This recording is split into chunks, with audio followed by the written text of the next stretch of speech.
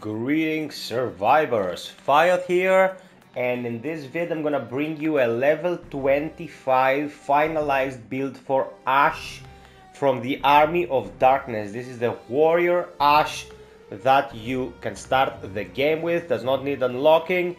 Very powerful character, I'm gonna explain why I pick the stuff I pick instead of the stuff I don't pick so pay attention and I will explain everything. First and foremost, let's look at what Ash can do when it comes to his unlockables via leveling. Wiseman Potion gives him added damage, damage reduction, and reduces the fear that has accumulated. Very powerful and you pretty much have a heal on cooldown. If you use it, in between encounters, you can be at good health and good fear status whenever you initiate combat. Shield Blast is his passive. Each time your shield loses a bar, it triggers an explosion. Damages enemies around you substantial throughout the run of a complete game and uh, very good for staggering. It causes very good balance damage. Finish strong. After Ash kills an enemy with the finisher, he recovers part of his shield bar. That's why it's very important to build this Ash for shields and finishers. Very, very important. Weapon Master Chainsaw. The chainsaw has a faster attack speed and deals increased health balance and dismemberment damage.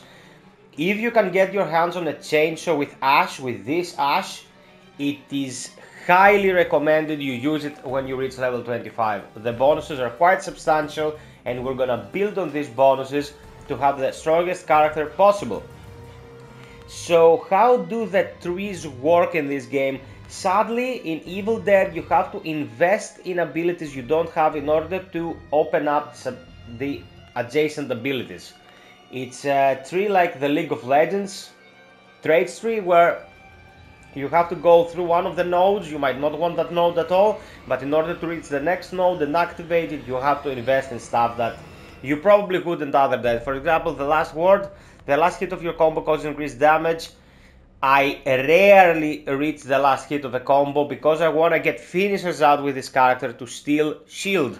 So this really doesn't help me, this is a wasted point, but what can you do about it? The start of the tree, you have to do it.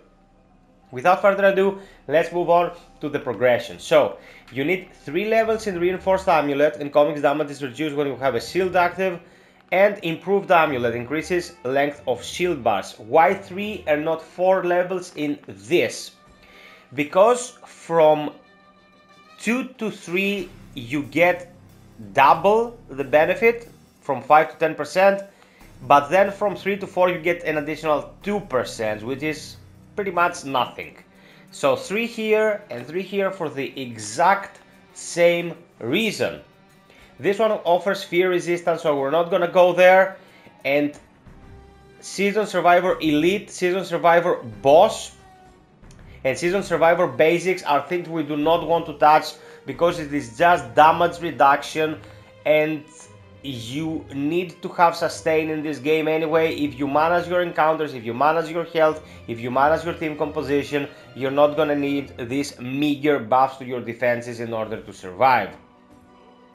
Now, second line, we're gonna go Artful Dodger, reduce the stamina cost for dodging. Don't want this, but I really wanna go to Industrial Strength that gives you 25% more maximum health just like that.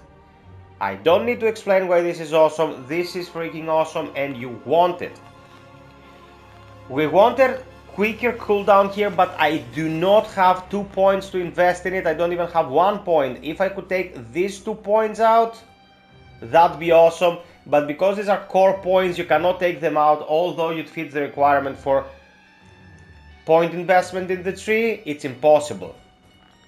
Devastating Force, increased melee weapon damage 15%, self-explanatory why you want this, excellent across the board. Then go to Cutting Blows, increase dismemberment damage of melee weapons. We don't really want this, but we need it to progress the tree, and to tell you the truth, 10% more dismemberment damage is not such a bad idea. Razor's Edge, increases dismemberment damage of sharp weapons. The chainsaw is a sharp weapon, and we want this to augment our chainsaw. Sting like a bee, increases damage with light melee attacks. Heavy attacks are usually a gambit in this game because they can be interrupted by pretty much everything, so you mostly will be spamming light melee attacks. That additional 15% is excellent and you really really want it. Seeing Stars increases the balance bar damage from your melee attacks. With Ash, you want to deal as much balance bar damage as possible because that will open enemies up to a finisher. Note, if you just get a finisher prompt without a red skull above it, it means that you are not killing the enemy, you are just activating a finisher to probably dismember or cause additional damage. Hit them a couple times more to get the skull and have a finisher that will actually kill. Now, why am I not touching the stuff below this? Blunt Force Trauma increases the balance bar damage from blunt weapons. We don't want this, I'm gonna explain why afterwards. Heavy hitter increases damage with heavy melee attacks. I already explained that heavy melee attacks are kind of a gambit. Here we have tougher than hell, reduces the amount of damage you receive. This is good, but it's just 10%, and we want we need to go all the way down here and invest here to open up this line that we'll not be using just to get 10% damage reduction. No bueno. Second Wind, increases the melee damage will deal when your health drops below a certain threshold. You get added damage as your health drops. At 50%, it's a 20% bonus, which is quite substantial if you have it maxed, but um, isn't worth getting here, guys, really, because after this we have stunning strikes, increases balance, dam balance bar damage from heavy melee attacks, no heavy melee attacks will be used, increases damage dealt by 100 melee weapons, this is excellent, but it's way too deep to be worth the investment. We have to go through three nodes to get here so we can augment our chainsaw that's why I prefer getting these two that are adjacent to my flat melee damage instead of going to the trouble of reaching this. Of course for 200 self-explanatory we're not getting it and the last one is fighting safe, increases melee damage when your health is above a certain threshold. When you upgrade it to level 3 you get 15% damage when you're at 95%, okay? You'll rarely be that high in HP unless you have pinpoint shield management and for me guys it's really not worth it. Now why am I so adamant about avoiding heavy attacks and avoiding two-handed weapons and blunt weapons?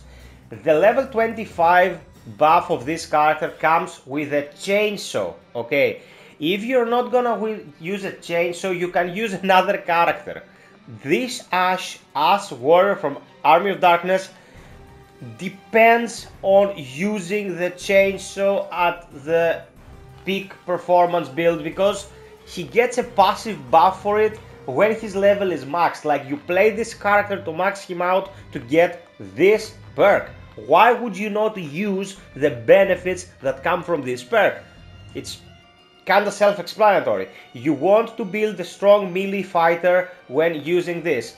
And this is how the build ties together better shields, better health, better melee, better melee with sharp and dismembering weapons, including the chainsaw, so you can get in there and kick their asses with the chainsaw. Make sense? So, this is my first 25 level build for a character in Evil Dead the game. I'll see what kind of traction it gets.